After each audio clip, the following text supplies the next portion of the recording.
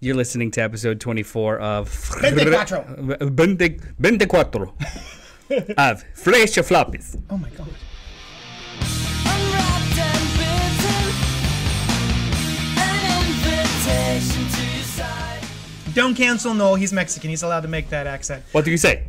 What's up to all our sidekicks and henchfolk out there in the Mother Loving Geek Nation? You're currently tuning into Fresh Floppies. uh, Yum. the, the freshest floppies in town, the Yeah. floppiest, freshest in town. Yeah, today we're we're uh, we're podcasting with a live studio audience Of two. of two. Hi guys. hey guys, Said no, don't wave. it's an audio. Thank you. Yeah. I don't think anybody heard that, but I loved it. Yeah. That's it. Yeah, Thank there it you. is. Um, uh, what's a floppy and how? Tell us about the Uh, freshness of it. Floppy is a is a, a common um, parlance, uh, a Nomenclature? colloquialism, nomenclature for a single issue comic book that comes out uh, on a weekly basis um, in sequential order by number. Nailed it. Nailed it. So we're here to talk about spoiler-free reviews of stuff that dropped today, Wednesday, at your local comic shop. Uh, we we uh, we're on a time schedule, so let's get into it. Amazing Spider-Man number thirty-one, legacy numbering nine hundred and twenty-five. This is a thick boy with three C's. I wondered why it was an anniversary issue and then it was like Legacy 925. I still don't understand why nine twenty-five is a legacy issue. it's impressive. I mean, an anniversary issue. Like, It's impressive. how's it more impressive than nine twenty-four? It's not like it's mean, nine hundred and fifty. 25 is divisible by 100 in a very like prestigious way. 25th anniversary. I guess it's prestigious. Yeah, 925 seems seems cool. You know what? I would I would be mad Uh-huh. about this uh, fake anniversary if I didn't enjoy the shit out of this comic book. Well, let me ask you this: Did you enjoy the shit out of this comic book? I shit myself. oh my god! Because I enjoyed it so much. I We I, really turned Noel around. I on- skadooshed. on, on, on, Amazing Spider-Man. yeah, no, oh, I'm so excited. phenomenal. And Oh, you know what? Zeb Wells. Yeah, uh, uh, um, um, the majority of it, the main story is written by Zeb. presentation.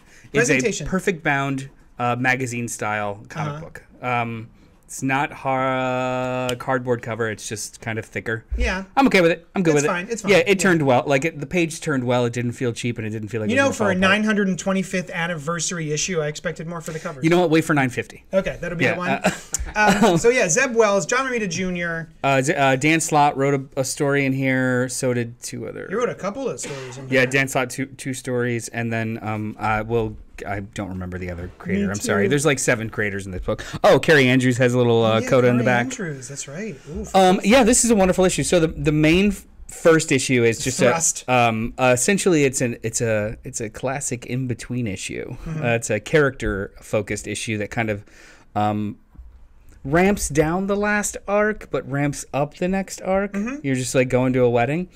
Um, it's wonderful. Oh, betwixt uh, Randy Ra- Robertson, Randy Robertson and I forget her name, Beetle. the Blue Beetle, or not the Blue Beetle.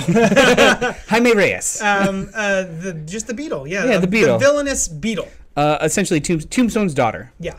So, um, the the beginning of the book is a bachelor party and a bachelorette party, and then the second half of the book is the wedding the the next day. Mm-hmm. Something that I was so upset about happened in this book. Yeah. I'm Is it something that we were previously excited about and now we're upset about? uh, well, I was I was very excited about it. I'm still ex- incredibly excited about it. Um, but it's no longer exciting because they They, yeah, they end. They, it was a, st- a plot point, a storyline was enjoying. that I was enjoying, and now has come to an end. Maybe it's not completely over, but it probably is. It's It fine. Sounds like it is. Ugh. Um, it wasn't great, but everything else in this book was so charming, and Yeah. I mean, John Romita Jr. is doing really great work here. it is. He needs to figure out how to design new characters. Nope. This looks like every character he's ever designed. Yep. Ever. Yeah, I, you sound like you're saying that's a flaw. Uh, I'm saying it's amazing. Okay. Oh no, I'm messing with you. Yes, uh, this this is filled with uh, John Romita Jr. risms. Yeah, yeah, which But- is fine. I just don't like the. This, there's a there's a new villain who shows up to cause havoc, and I just His name the, is Shotgun. the outfit is awful. Um, I love this. I love this book. I love this The issue. rest of it was great. Um, the second story. ah. so, um, hey guys, Miss Marvel's back. Yay! Sorry, she's a mutant animate human. She's been revived. Now, um, part of the reviving process is that they don't necessarily they only remember up until their last backup by Xavier, so she Yeah. doesn't know how she died. So this is a rooftop conversation with Peter about um, how she went out like a hero, and I loved this, This short wonderful. story. Yeah. I loved it. and loved I it, love loved the other the the man with all the answers uh, that takes place in the bar with no name by Dan Slott and Mark Bagley, which is all um, Doc Ock. and then I- we got uh, Mary Jane and Paul dealing with the repercussions of what they went through, which actually was really good. uh, Spider Woman preview. Yeah, This there's yeah. The, the rest of this book is all previews for stuff that's coming. but there's no. They were all enjoyable. Yeah, They were all super enjoyable to read. It didn't feel like even the Spider Boy stuff was yeah. cool. I was like, I- yeah, this the the one with the um mother the mother of invention. Mother Monstrosity. Yeah, I was like, what is this? Where is this? Oh, okay. So yeah, this was this was uh, fresh AF. Yeah, I was Awesome. so incredibly happy with it. And Except also, for the also- one thing that I was sad about. you know what though? I'm sad about it because it was narratively um, worked.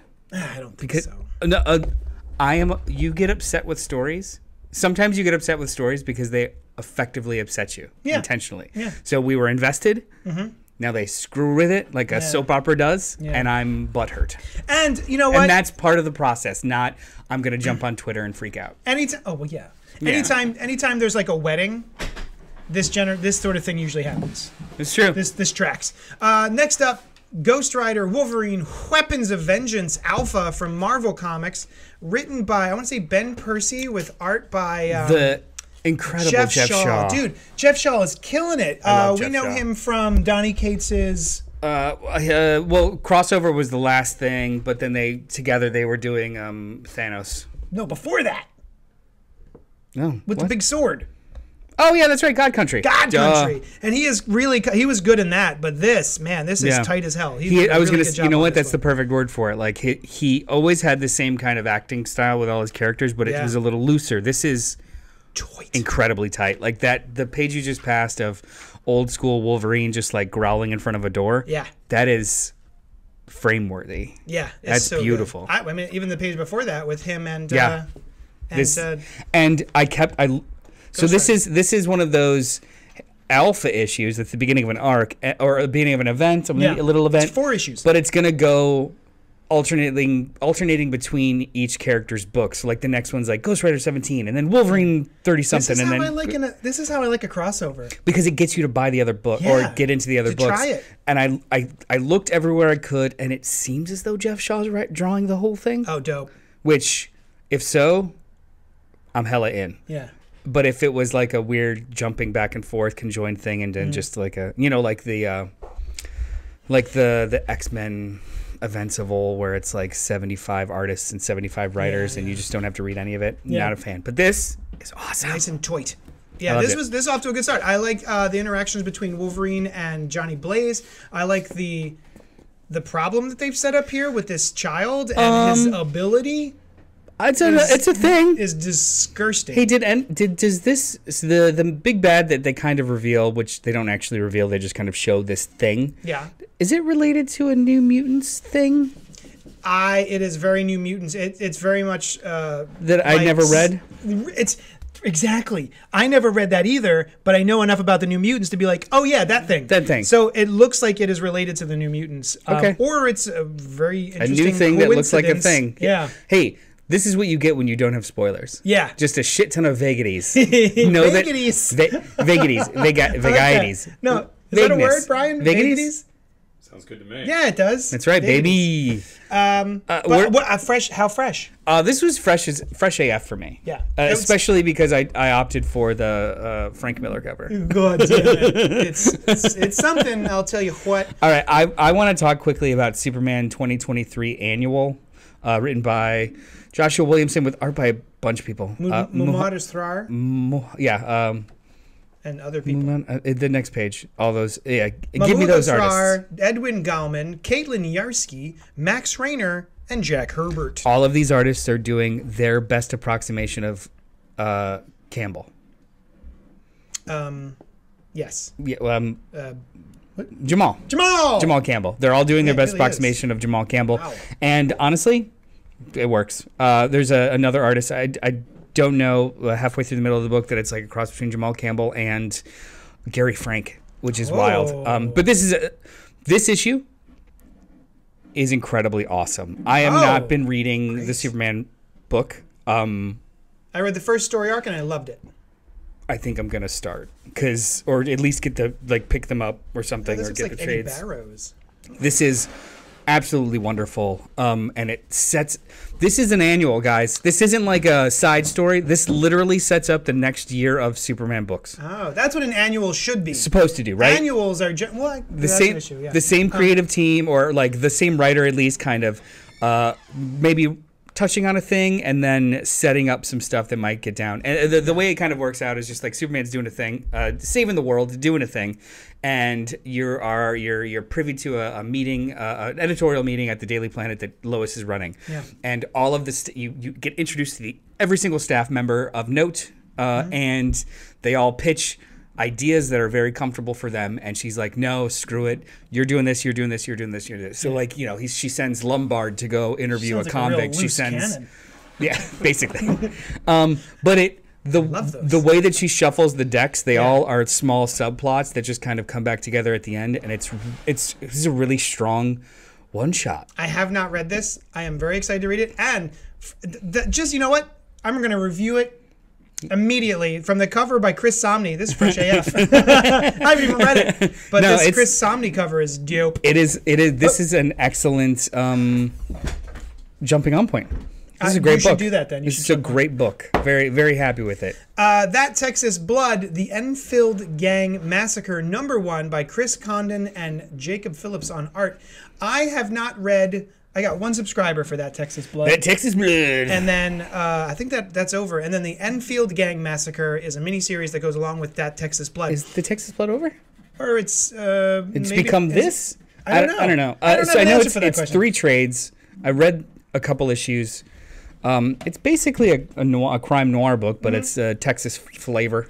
Now, oh, have you read it? Have you read a single issue? Three issues. Is it contemporary or is it like this, which is a tossback? The first arc is contemporary, Hmm. from what I understand, and by that I mean other people talking about it. I get the impression that each arc is maybe a different era in the it's lives like of, Criminal. or the. I would think more like Fargo.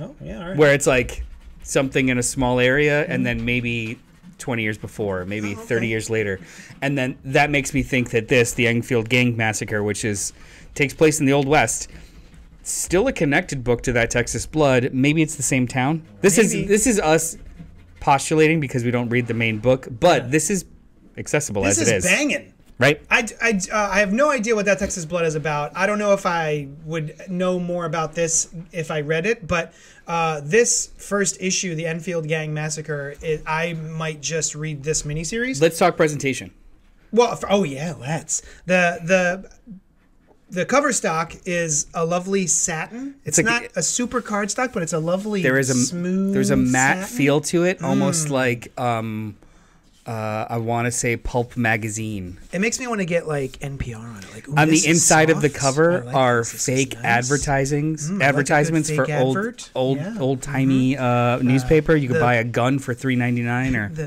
the paper stock is a is a nice. Um, it's newspaper paper stock yeah It's a and nice then newsprint that's been aged. The book itself fine wine? the, the the the book itself actually does work across two time periods mm-hmm.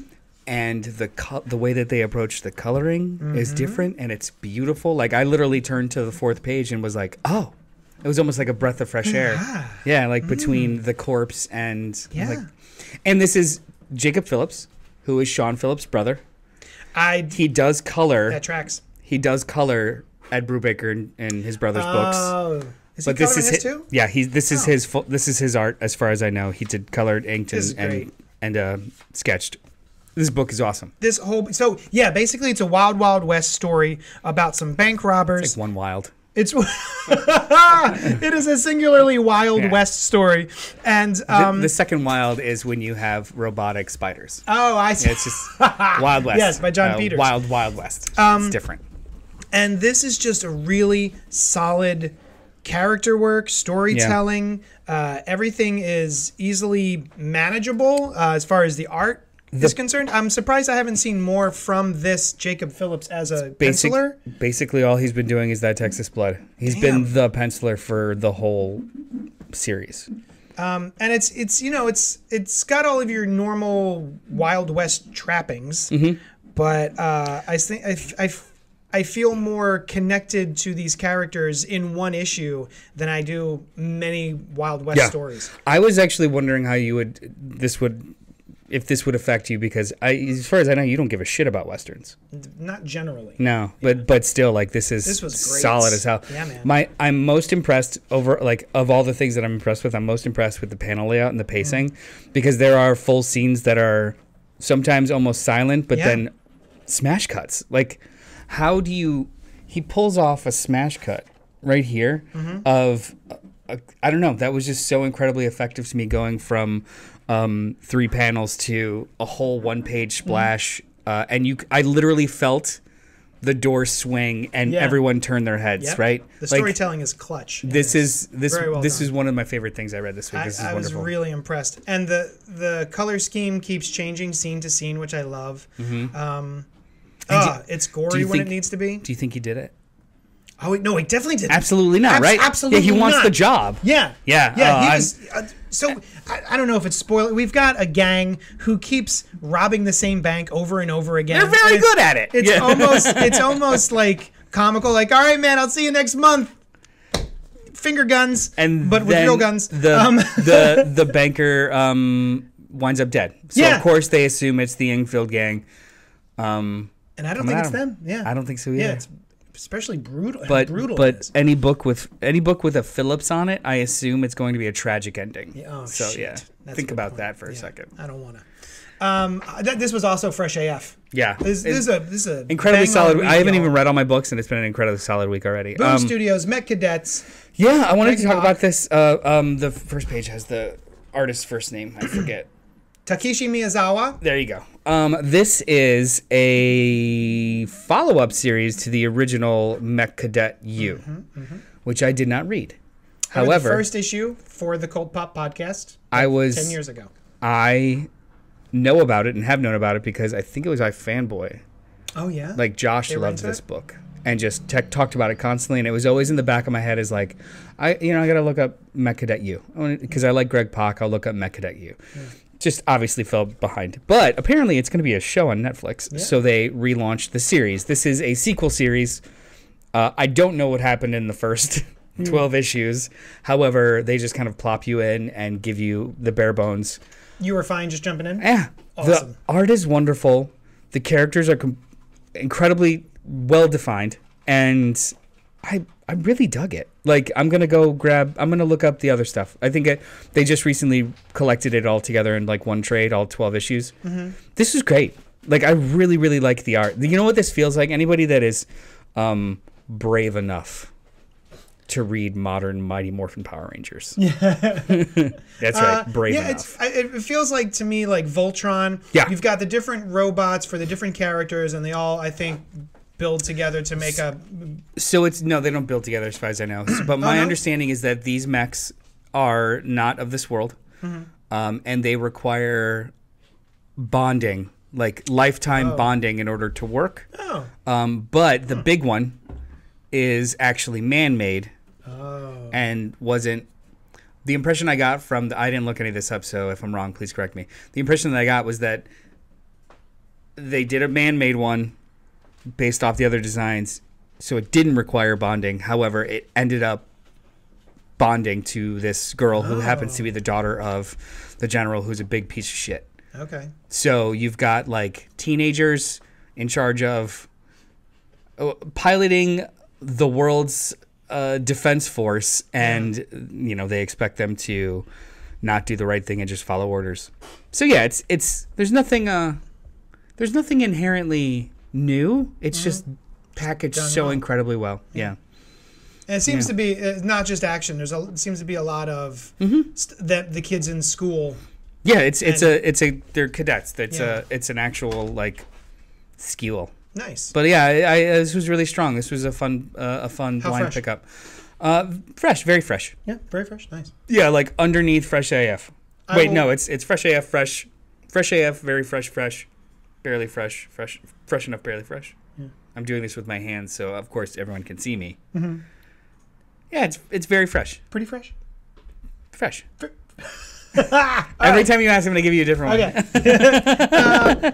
What are you looking Recommended is what you're saying. for? Uh, it, uh, freshish. Freshish. Freshish. Fre- uh, Freshish. Freshy. Okay.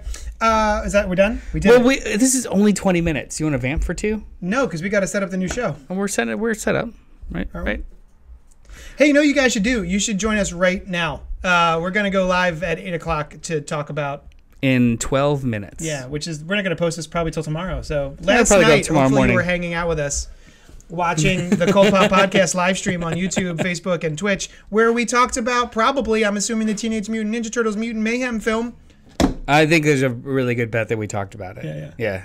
All right, thanks so much for hanging out with us, and we'll talk at you later. Bye.